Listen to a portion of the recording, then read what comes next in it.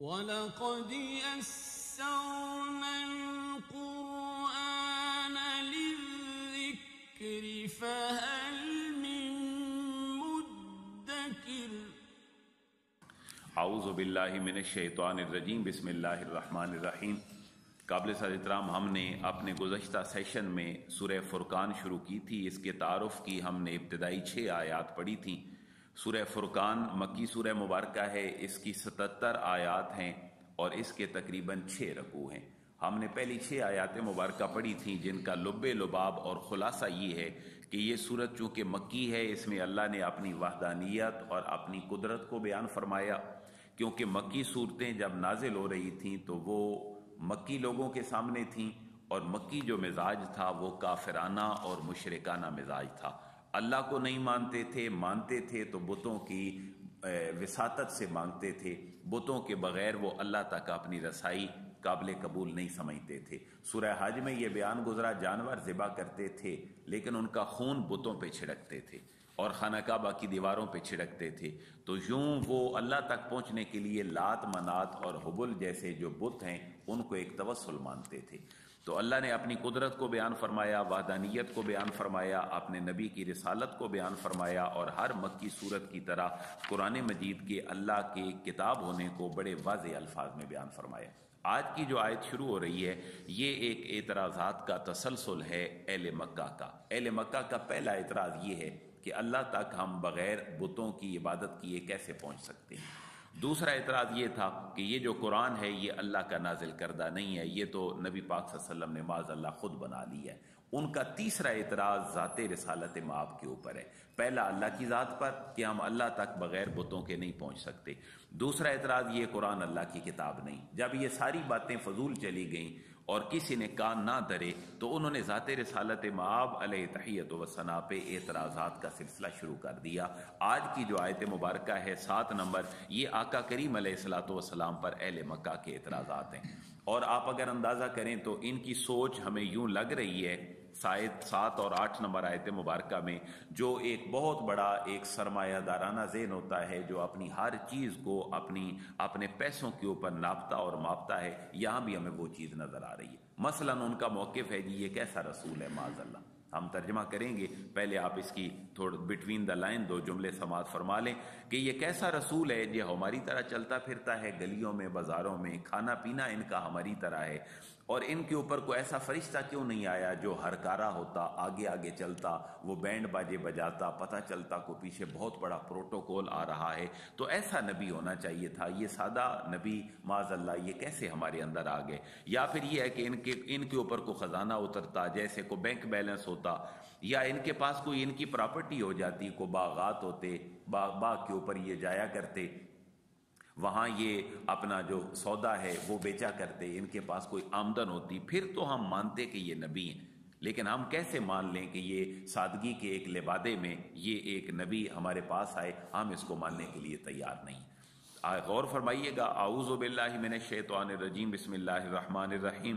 وقالو مال حاضر رسول یا کل الطعام و یمشی فی الاسواق۔ واؤ کمانا اور کالو کفار کہنے لگے ان اعتراض کرنے لگے، بولے مال حاضر رسول یہ کیسا رسول ہے؟ یہ سوالیہ انداز ہے، کیا ہو گیا ہے اس رسول کو؟ کیسا رسول ہے یہ معاذ اللہ؟ یا کل الطعام، جو کھانا کھاتا ہے تعام کھاتا ہے ہماری طرح وہ یمشی فل اسواق اور چلتا پھرتا ہے یہ بازاروں میں۔ سوق کی جمع ہے بازار مشا یمشی کمانا ہے چلنا، اور سا یسا کمانا بھی چلنا ہے۔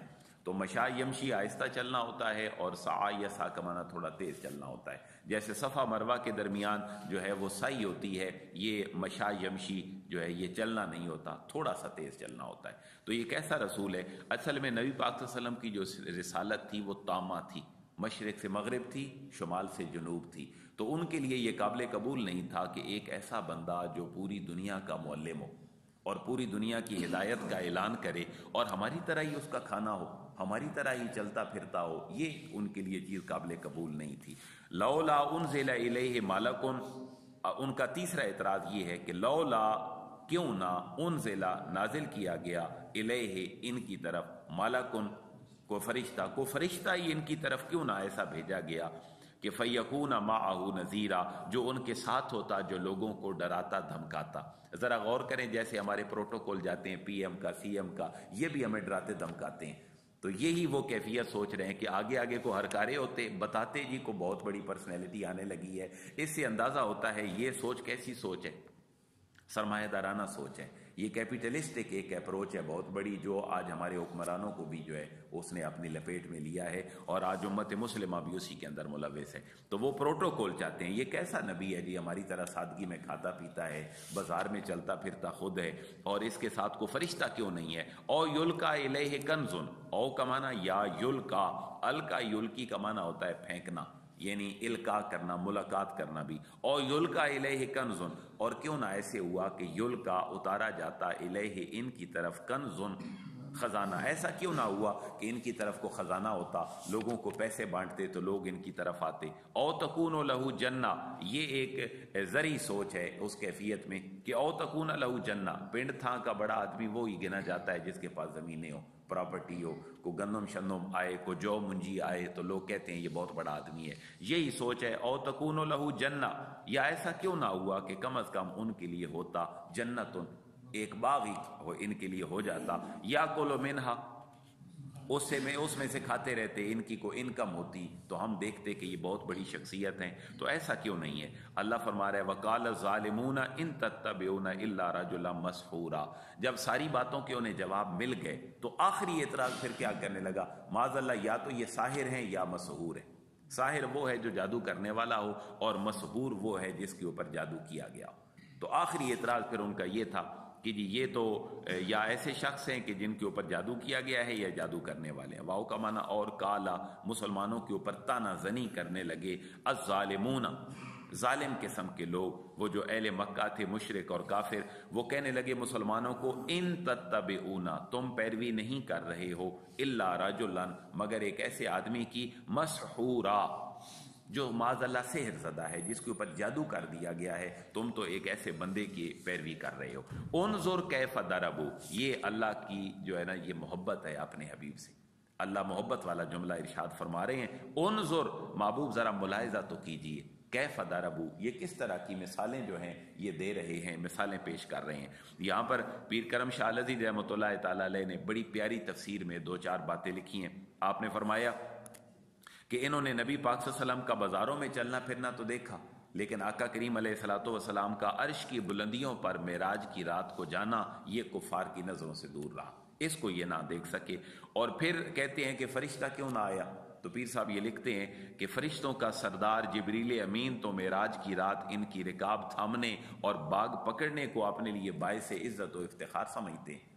لیکن اس تک ان کی نظر نہیں گئی۔ اور پھر اعلیٰ حضرت امام احمد رضا خان رحمۃ اللہ تعالی علیہ نے کھانا پینا انہوں نے چونکہ لکھا، اعلیٰ حضرت نے اس کی ترجمانی کی کہ ہونے کو کائنات کے سارے سامان ہیں، لیکن جو گزر بسر ہے وہ جو کی روٹی پہ ہے۔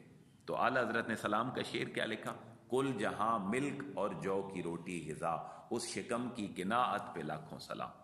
تو نبی پاک صلی اللہ علیہ وسلم کی یہ کنات ہے، جس کو یہ سمجھ نہیں سکے۔ اور پیر صاحب یہ لکھتے ہیں کہ وہ معاذ اللہ نبی پاک صلی اللہ علیہ وسلم کے خزانے اور ان کے باغات کی بات کرتے ہیں۔ انہوں نے انا آتینا کل کوثر نہیں پڑا کہ اللہ نے تو خود وعدہ فرما دیا، محبوب ہم نے آپ کو خیر کثیر عطا فرما دی تو ان تتبعون الا رجلا مسحورا، تم پیروی نہیں کر رہے ہو مگر ایک ایسے شخص کی جس پر جادو کیا گیا ہے۔ انظر کیف ضربوا لك الامثال فدلوا فلا يستطيعون سبیلا۔ تو انظر ذرا ملاحظہ تو کیجیے کیفا کس طرح دربو، انہوں نے مثالیں دی ہیں لاکا آپ کے لیے الامثال مختلف قسم کی۔ محبوب ذرا غور کریں آپ کے لیے انہوں نے مثالیں کس طرح کی دی ہیں۔ فدلو فلا یستطیعون سبیلا۔ لیکن محبوب جو ذات رسالت میں آپ پہ اعتراض کرتے ہیں، ان کا انجام پھر یہ ہوتا ہے کہ فدلو۔ وہ گمراہ ہو جاتے ہیں اور گمراہ ہو چکے ہیں یہ، فلا یستیون سبیلا اب ان کی بے ادبی کے باعث اور نبی پاک صلی اللہ علیہ وسلم کی ذات کو تان بنانے کے وجہ سے لا یستیون سبیلا یہ ہدایت کی طرف جانے کے اپنے سارے راستے بند کر چکے ہیں۔ ان کی سوچیں جو ہے وہ معاف ہو چکی ہیں، ان کے دماغ کام نہیں کرتے۔ اور محبوب یہ بات کرتے ہیں، خزانوں کی یہ بات کرتے ہیں، باغات کی۔ محبوب اگر اللہ چاہتا تو آپ کے لیے تو یہ سارا کچھ بنا لیتا۔ تبارک اللہ ان شاء جعل لك خیرا من ذالک جنات تجری من تحت حل انہار وجج اللہ کا قصورا۔ تبارک اللہ برکت والی ہے وہ، خیر و برکت والی ہے وہ ذات۔ کہ ان اگر وہ چاہتے اگر وہ چاہے تو جا اعلیٰ بنا دے لاکا آپ کے لیے خیرہ، محبوب اس سے بھی بہتر۔ یہ تو کہتے ہیں نا کہ خزانہ ہوتا یا باغات ہوتے، محبوب وہ تو بڑی برکت والی ذات ہے جو تیری خالق ہے، تیری مالک ہے اور تجھے ہادی بنا کر جس نے دنیا میں بھیجا ہے، وہ اگر چاہے تو اس سے بھی بہتر بنا دے۔ جنات ان تجری من تحت حل انہار۔ جنات ایسے باغات تجری رواں دواں ہوں، چلتی ہوں من تحت جن کے نیچے الانہار، جن کے نیچے نہریں چلتی ہوں۔ محبوب اللہ تو اس بات پر بھی قادر ہے۔ اور یہ کہتے ہیں کہ محبوب آپ کے پاس جو ہے وہ خزانہ نہیں وہ یج اللہ کا قصورا۔ اگر اللہ تعالیٰ چاہے تو بنا دے لکا آپ کے لیے قصورا۔ محل کسر کی جمع ہے قصور۔ تو محل جو ہے، شاید قصور کو بھی قصور اسی وجہ سے کہتے ہیں یہ جو ہمارے قریب قصور ہے، شاید اسی وجہ سے اس کو بھی قصور کہتے ہوں۔ یہاں کو تاریخی حوالے سے بہت زیادہ محلات ہوں، جو بہت زیادہ پہلے ہوں۔ تو ویج اللہ کا قصورہ اور محبوب آپ کے لیے بنا دے بڑے بڑے یہ محلات۔ اللہ تو اس بات پر بھی قادر ہے۔ لیکن محبوب، اللہ اگر آپ کو اس طرح کا دے بھی دے۔ اس تشریح میں یہ بات لکھی ہے کہ جب یہ آیت مبارکہ نازل ہوئی تو آقا کریم علیہ السلاۃ والسلام کی بارگاہ میں جب خازن جنت حاضر ہوئے تو نبی پا انہوں نے بارگاہ رسالت میں حاضر ہو کر سلام عرض کیا۔ پھر عرض کیا، یا محمد، اے اللہ کے حبیب، اللہ رب العزت آپ کو سلام فرماتے ہیں اور یہ ایک چیز، ایک صندوق چی، یہ آپ کی خدمت میں اللہ نے پیش کی ہے، جو ایک شکلن صندوق چی تھی کہ اس صندوق چی سے نور چمک رہا تھا۔ اور جب عرض کرتے ہیں، حضور، اللہ تعالیٰ فرماتے ہیں حاض ہی مفاتی خزائن دنیا حضور، یہ دنیا کے سارے خزانوں کی چابیاں ہیں جو اللہ نے آپ آپ کو دے بھیجی۔ لیکن نبی پاک صلی اللہ علیہ وسلم کا انداز کیا ہے؟ آپ نے فرمایا کہ اے رضوان جنت لا حاجت علی میرے، مجھے اس کی کوئی حاجت نہیں ہے، میں اس بات کو پسند کرتا ہوں، ان اکونا ابدن صابرن شاکرہ میں اللہ تعالیٰ کا صبر کرنے والا اور ایک شکر کرنے والا بندہ بن کر رہا ہوں تو خازن جو ہے وہ عرض کرتے ہیں، امام قرطبی اور دوسرے مفسرین نے لکھا اسب اللہ کا آپ نے درست فیصلہ فرمایا، محبوب، اللہ جو آپ کا ہے تو آپ کو خزانوں کی کیا ضرورت ہے؟ آل حضرت نے اسی کی ترجمانی کی۔ میں تو مالک ہی کہوں گا کہ وہ مالک کے حبیب اور محبوب و محب میں نہیں تیرا، میرا۔ تو یہ اعلی حضرت میرا تیرا کے الفاظ جو ہیں وہ آپ نے ذکر فرمائے۔ محبوب اگر اللہ آپ کو دے بھی دے یہ، تو یہ کیا کریں گے؟ کیا یہ ہدایت کی طرف آ جائیں گے؟ آپ کے بڑے بڑے محلات ہوں تو کیا یہ ہدایت پہ آ جائیں گے؟ آپ کے کو باغات ہوں تو یہ نیک بن جائیں گے؟ آپ کے کو بڑے بڑے خزانے ہوں تو یہ تصویر پکڑ لیں گے؟ نہیں محبوب بلکہ زبو بسا یہ محبوب آپ کا ٹھکرانا تو اور بات ہے بلکہ زبو بسا بل بلکہ کز زبو یہ تو جٹلاتے ہیں بسا قیامت کو، قیامت کی گھڑی کو بھی یہ جٹلا کے بیٹھے ہیں۔ وعاتدنا اور ہم نے تیار کر رکھا ہے۔ لمن کذب بالساعہ جس نے جٹلایا ہے قیامت کو، ہم نے اس کے لیے تیار کر رکھا ہے سعیرہ بڑکتا ہوا عذاب بڑکتی ہوئی آگ ہم نے اس کے لیے تیار کر دی ہے۔ اب یہ ڈراوا دیا جا رہا ہے۔ دیکھیں نا، یہ بھی کسی کو رائے راست پہ لانے کے لیے دابا مارنا اور اس کو تھوڑا سا ڈرانا، دھمکانا، یہ بھی جو ہے وہ نفسیات ہے انسان کی جو اللہ اس کو سکھا رہا ہے۔ اللہ بھی ان کو ڈرا رہا ہے۔ وہ اظہار اتہم من مکان بعید سم لہا تغیزم و ذفیرہ محبوب، یہ تو قیامت کو بھی جٹلائے بیٹھے ہیں۔ اظہار اتہم جب یہ آگ دیکھے گی انہیں مم مکان ان بعید۔ دور کے، یہ تو دوزخ میں جا ہی رہے ہوں گے، لیکن دوزخ کی آگ ان کی بڑی مشتاق ہے۔ اظہار اتہم جب وہ ان کو دیکھے گی اظہار جب رات کا فائل ہے جہنم، اور ہم، یہ لوگ مراد مفول ہے۔ اظہار اتہم جب دو کی آگ ان کو دیکھے گی مم مکان بعید۔ دور سے ہی جب دو کی آگ ان کو دیکھے گی تو سام لہا تغیزم و ذفیرہ جو وہ آگ ہے اور جہنم ہے، وہ اس کی آگ جوش مارے گی اور اس کی آگ جو ہے وہ چنگاڑنا شروع کر دے گی۔ اور یہ اس کی آوازیں دور سے بھی سنیں گے۔ سامع لہا یہ دو کی آواز کو سنیں گے اور اس کی آگ کو تغیزہ جو بڑے غیظ میں ہوگی، جوش مار رہی ہوگی و ذفیرہ اور چگاڑ رہی ہوگی، ان کے لیے ان کو ویلکم کرے گی۔ وَإِذَا أُلْقُوا مِنْهَا مَكَانًا ضَيِّقًا مُقَرَّنِينَ دَعَوْا هُنَالِكَ ثُبُورًا واؤ کا معنی اور اذا جب الکو ان کو پھینکا جائے گا منہا اس دوزخ کے میں منہا مکان اندیے کا کسی تنگ جگہ سے سوراخ سے جب ان کو پھینکا جائے گا مقررینہ زنجیروں میں جکڑے ہوئے ہوں گے دا او ہنالے کا صبورا اس وقت محبوب یہ کہیں گے آئی تو قیامت کو جٹ اس کو دھتکار کے بیٹھے ہیں جٹلا کے مرنے کو۔ لیکن اس وقت یہ کہیں گے، جب ان کو دو میں پھینکا جا رہا ہوگا، دا او یہ پکاریں گے ہنالے کا اس مقام پر صبورا موت کو۔ آج تو یہ موت کو بھولے بیٹھے ہیں، لیکن جب ان کو دو کی آگ جلتی ہوئی نظر آئے گی، جوش مارتی ہوئی، چنگاٹتی ہوئی، تو پھر یہ کس کی طلب کریں گے؟ موت کی کہیں گے، مر جاتے تو بہتر تھا، یہ عذاب ہمیں کہاں سے مل گیا؟ لا تد الیوم صبورا واحدا ود او صبورا کثیرا۔ اللہ فرما رہے اب ایک موت کو تم یاد نہ کرنا، اس وقت تم پھر ہر موت کو پکارنا، کوئی موت تمہاری مدد نہیں کرے گی۔ لا تد الیوم اور کہا جائے گا ان کو، لا تد الیوم آج کے دن نہ پکارو سبورا کسی موت کو، واحدہ ایک موت کو نہ پکارو۔ ود او تم مانگو سبورن کثیرہ بہت ساری موتیں۔ آج ایک ایک عذاب کے اوپر تم موت مانگو۔ بندہ کی پریشانی میں ہو تو ایک کفریہ کلمات کہہ دیتا ہے نا جی مر جاتا تو بہتر تھا۔ نبی پاک صلی اللہ علیہ وسلم نے اس سے بھی منع فرمایا۔ لیکن کافر کیا کہے گا؟ دوزک کی آگ کو دیکھ کر ایک تخیلاتی کیفیت میں ہدایت کا سامان کیا جا رہا ہے۔ وہ بہت ساری موتوں کو آج پکارو، تمہیں موت بھی نہیں آئے گی، تمہیں عذاب دیا جاتا رہے گا۔ آخری آخری آیات کل ازال کا خیر ام جنت الخل دلتی و المتقون اس وقت پوچھا جائے گا ان سے کہ یہ تمہارے لیے بہتر ہے جہاں آ گئے ہو دو میں یا وہ جنت بہتر تھی جس کا وعدہ متقین کے ساتھ میرے حبیب نے دنیا میں کیا تھا اور تم نے جھٹلا دیا تھا اس وقت۔ کل محبوب، ان سے ذرا پوچھئے۔ اس وقت کہا جائے گا قیامت کے دن بھی کہ ان سے ذرا پوچھو ازالے کا خیر، کیا یہ بھڑکتی ہوئی آگ بہتر ہے؟ ام جنت الخل، یا دائمی جنت۔ اللہ تی وید المتقون، دائمی جنت وہ تھی کہ جس کا وعدہ کیا گیا تھا المتقون پرہیزگاروں سے، کیا وہ تمہارے لیے بہتر تھی یا یہ جلتی ہوئی آگ بہتر ہے؟ کانت لہم جزا و مسیرہ یہ جنت ان کے اعمال کا صلہ اور ان کی زندگی کا انجام تھی جو متقین تھے، یہ تمہاری طرح نہیں ہے۔